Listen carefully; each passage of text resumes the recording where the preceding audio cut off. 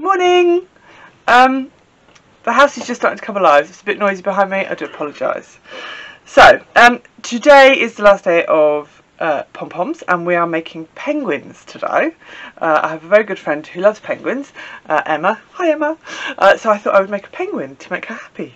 Um, she's happy anyhow, but just make her happier. Uh, or if it goes horribly wrong, maybe not so happy. Anyhow, so um, I have pre-wound, and I've actually already snipped this one, um, my pom-pom makers. So don't forget you can use your bits of card if you want to. So we're using two today, so I would say your fork and your piece of card. Okay, so go back to your how to make pom-poms three ways if you've missed that one. Um, I'm using my pom-pom makers just because I love my pom-pom makers. Uh, so I have done, I would say three quarters black and a quarter white. And the same on this one. Okay, so, um, only because if you look at a penguin, actually only at probably about a third of its body. So if you wanted to get really, really picky, you could make it a third and two thirds. And there's my numeracy for the day. I'm done. Okay, right. Tilting you down so you can watch what I'm doing. So I've already done this one, tied it off. I've made sure that I've left my string longer so that I can tie the two of them together. So open it up. I love these Diddy pom-poms. There's just something about working at this scale which makes me very, very happy. Oh, until I do that. Um, oh, there it is. Right, so that's going to be his face. Oh, give him a bit of a trim. Um, his face and head. Okay. So let's move on to the body.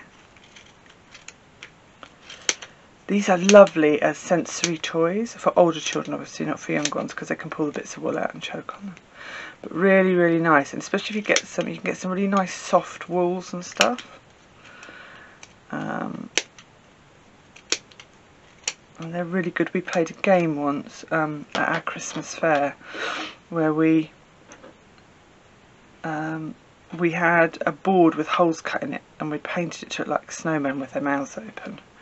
And then we made giant white pom-poms that you could throw through um, through the mouth of the snowmen so it's like they were eating snowballs. It's just really good fun. And because they're so soft nobody got hurt when they were being thrown around. It's great. So Oh, oh, I have a very excited little boy who's shouting because the tooth fairy has been. Tooth fairy forgot to come over my nest. Right, so, there we go. I have my penguin and I'm now going to tie my head and my body together. Just so that I can then start to add things like the face the yeah, well the eyes, the beak, and the feet. So you can, if you want to, get really, really complicated add things like bow ties. I'm just going to keep it quite simple for today. Um, oh, fingers and thumbs. It's because so early in the morning. I'm making this video about half past six in the morning, which isn't really, really early, but it's early enough for me. So, I have made some little feet and I'm just going to pop my double-sided sticky tape. Again you can use glue on the bottom. And I'm going to stick them towards the front so you can actually see them. Now you could actually make bigger feet which would probably work a bit better. But they work just as well. And then I've made a little beak which is just like a diamond. And then folded it in half. And that again double-sided sticky tape and just pop that in place. Um, there we go. And you could actually, if you wanted to, make um, a little egg out of, I don't know, a piece of plasticine.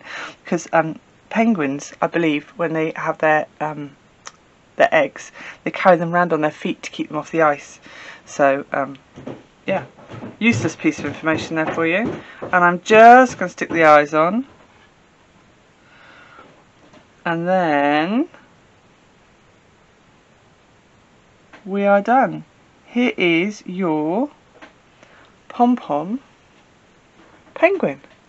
I think he's quite cute. Right. See you tomorrow for a grown-up one. Bye.